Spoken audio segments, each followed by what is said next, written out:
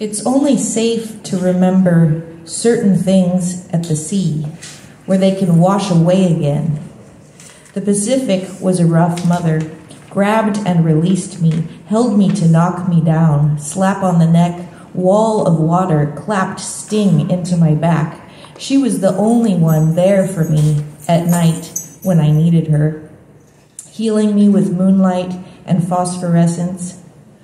What I want her to know now is that I need to come home. The world on land has held more horror than she could ever have imagined. The poems that I'm reading today are from a project that I've been working on for the last two years called Removal Line. Um, and it tells the story of my family's exile from the totalitarian state of the Soviet Union during World War II um, and the diasporic experience that followed. Uh, current research suggests that following genocide, families can experience higher rates of mental and physical illness for up to nine generations. Um, when I was young, I didn't understand why my family was so strange. Um, and now I do. Uh, we are not bad people, we are recovering from things. Bar smells like puke near the sea of my heart. Drive hours to recover from day to day. Travel centuries to recover from memory of an envelope in the drawer of my small wooden childhood desk. A letter filled with words suffered by my little brother, crafted in a prison full of children, cast a spell on me, missile into the future, hit its mark. I hope you die early of cancer. I was a kid too when I read them and the self that I was then did not survive all the words that ended that family. Uh, I was diagnosed uh, with breast cancer at age 36, and after my family's um, exile from Lithuania, every single woman in my family has gotten breast cancer at a young age. Uh, sorry, uh, 2019, year 2019. We wanted it to be fine, but the cancer was worse than any of us imagined. Without hormones, my ankles swelled to jiggly. I no longer crossed rooms unless absolutely necessary. Doctors wanted treatment to go on extendedly.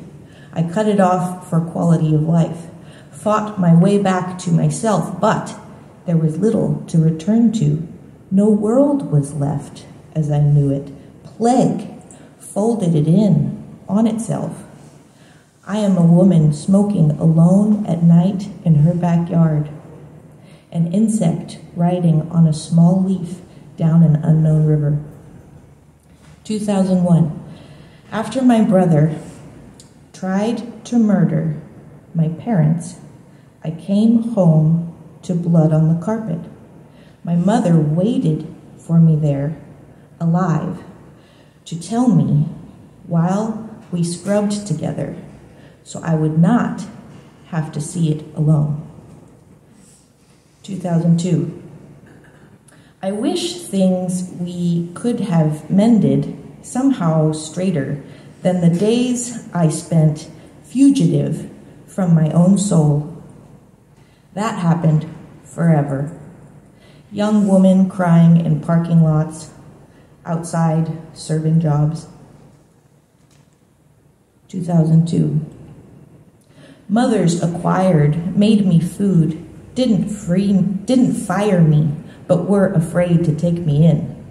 The wild animal shrieking in their backyard. 1944, then 1961, then 1948. No one wanted to think the occupation would disrupt as much as it did cousins on trains to work camps in exotic, snowing places. They returned from Siberia decades later to live, but not say.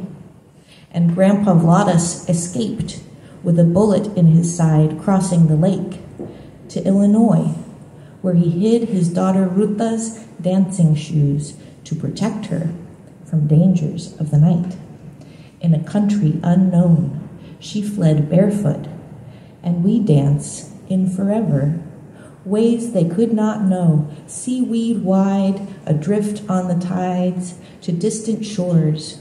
Don't you know me, Ruta, everywhere on the breeze? After the women of our family all become diseased in the same way. The sickness tethers our bodies. After our great escape, the stories we tell are of surgical drain bags swinging while dancing in living rooms, while around backyard fires, going to work with a head full of chemo, and dreaming of new lovers. The story cannot end here. Auntie Ruta gets on a cruise ship. Nanny buys an antique house. Cousin Coletti retires on an island. My dyslexic child learns to write her R's. I am still dreaming in the fog of my November backyard by an old pink playhouse Thaddeus brought in on his back. She called him Thaddy because he loved us. And then he left, but fills up my imagination like helium into what's soft without. I loved him, I loved him. Crazy overlooked, taken into account. After he passes, I visit his mother on Nursery Street, who made my mohawk blonde because he requested it years ago on a day when we were all very happy. This is the body my life made. This is the life my body made. A woman's journey is spent trying to only be a mind, to then be foiled by something as romantic as a tumor, followed by the sexlessness of its treatment. My body is a tragic sight I aim to crawl away from, but what knees will take me away from these? So it turns out my body and I are married. And when our union ends, so will I. So I now live my life like my pubic hair is on fire. I gyrate in unforeseen directions. To connect to my image, I allow it to proliferate. I sit in a room naked, surrounded by artists my gaze flying away somewhere amid the fury, the fury of pencil scritches. My images go places I don't even know. The internet, the frame shop. Barnaby buys one of me and hangs me in his bathroom. The only way this unruly body is tolerable is if I am on many mysterious journeys at any given time. I might run into myself in Africa on the Senegalese River, where Anderson knelt to put my hair in the water. In a land outside of mirrors, he sent me this image in a digital video. 2022. I tell him I am fat and old.